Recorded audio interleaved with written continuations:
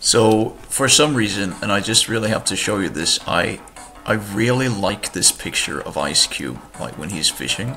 Like, just look at that face, like just... So it's such a happy little, little fella. It just warms my heart. But anyway, on to week... I'm not sure if this is week 10 or 12, but the title will tell. Welcome. I will now showcase the features we have been working on this week. First and foremost, and the most visually striking feature is the new light attack animation that I made today. It's a bit more dramatic than the previous one. It's a bit quicker and it has a lot more reach, which was, those were two things that people really wanted when we did the demo.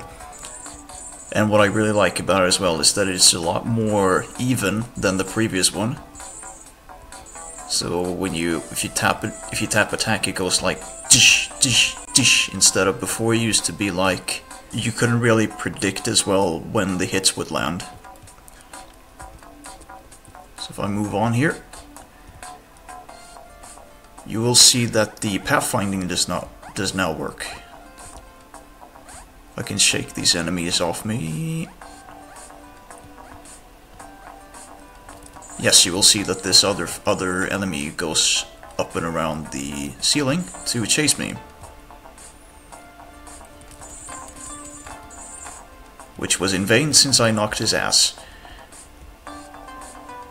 Or kicked his ass, rather. I believe I can actually hit him from up there. So, you can press down to fall through platforms, which was another thing, neat thing to have that people wanted.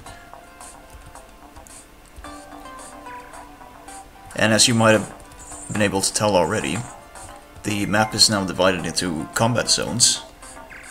So I actually have to kill all these enemies in this current zone to proceed. The police now actually hits you when you're in front of the shield, which was another thing. I just adjusted his melee range.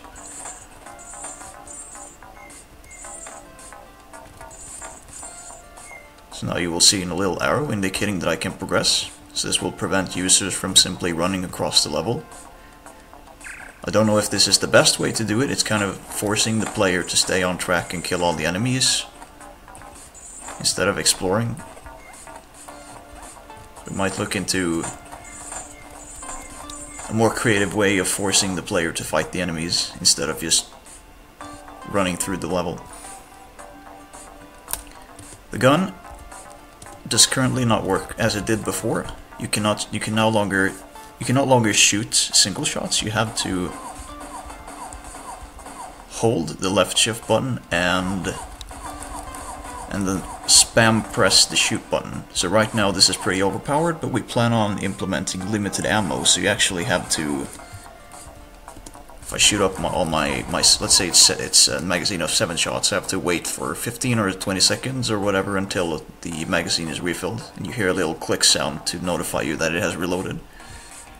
Uh, the boss is now currently completely unbeatable, as I will as I will show if I can find out what the jump button is.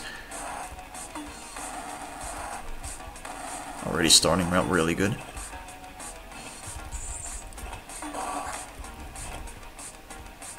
Yes, yes, so as you can see here, my hits do not do any knockback anymore. Which means that he will he will most he will de definitely use melee attacks. I think the game has fucked up, but whatever. The boss will currently... Why is there two of me? Okay, this is a unique little thing, a unique little insight into how the game works. But anyway, what I was gonna say is, so I changed it so you can no longer do any knockback to the boss.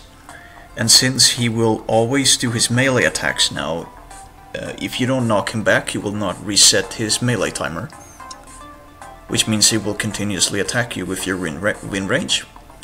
This combined with the fact that the lightning attack, the AoE attack that he does occasionally, has about half a second of windup, you cannot prepare for that attack. If you are mid-attack, you if you if you are currently in the middle of your light attack animation, you will not have time to jump out of the way or or dodge. So you're pretty much stuck. You will get hit regardless. Hopefully by next week, by the next demo that we do, we will fix this by simply making the wind-up for the lightning attack a bit longer. Now, that is it for me. Uh, one thing, I apologize for putting up these videos bi-weekly instead of weekly as I said I for, as I early on said I would. Uh, there has been a lot of stuff to do with school and with finals, but hopefully I will be on track again by this week. We have a lot of stuff to do, primarily bug fixing and just general tweaking to make sure everything feels more satisfying, and then we hope to release the next build by the middle of next month, so that's about three or four weeks. And you guys will be able to play it and determine if the changes we made have been suitable for you and made the game more intuitive and, well, well, if nothing else, more satisfying to play.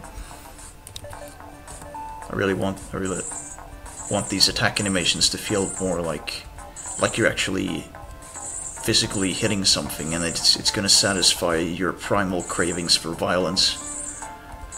Uh, but, but with that said, hope to see you next week. Thank you, this has been Alexander signing off.